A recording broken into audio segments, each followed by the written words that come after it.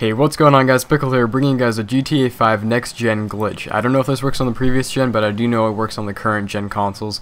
So what we're going to be doing here is basically getting millions of dollars in seconds. That's right.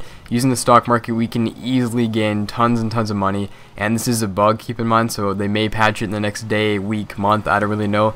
But if I have in the description down below that this isn't working, then unfortunately they patched it and you guys can't do the glitch. But right now it's working for me, so I'm going to show you guys how it's done.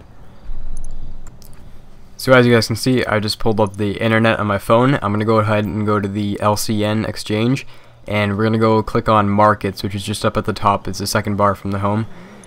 We're going to go ahead and go down to the average change percentage. So we're basically going to be picking the lowest stock market out there right now. And currently it's this one, so we're going to go ahead and click on buy.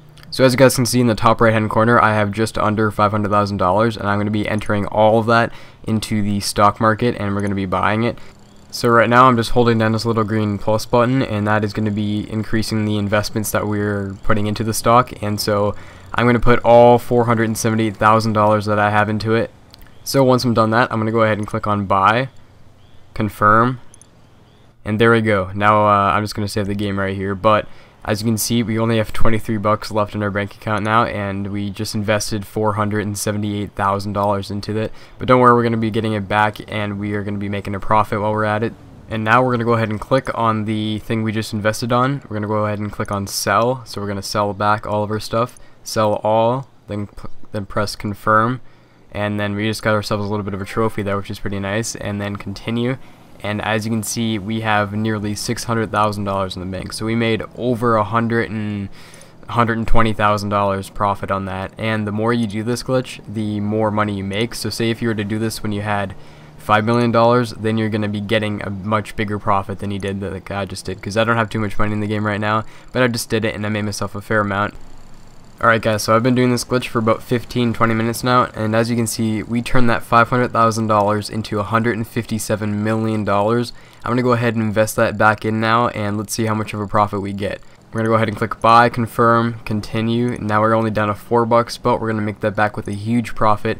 Let's click on sell, sell all, confirm, continue, and as you can see, we have $200 million. We just made nearly a $50 million profit from investing $160 million into these stocks. And like I said, this only took me about 15 20 minutes. You can do this for hours at a time and you can make billions.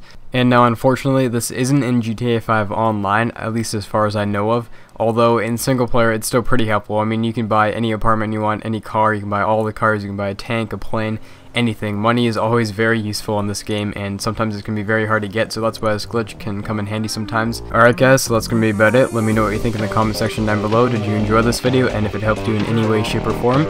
Also, don't forget to leave a like if you want to see more GTA 5 content on my channel, and subscribe if you forgot to have done that. Anyways guys, my name is Pickle, and as always, thank you guys so much for watching. Peace.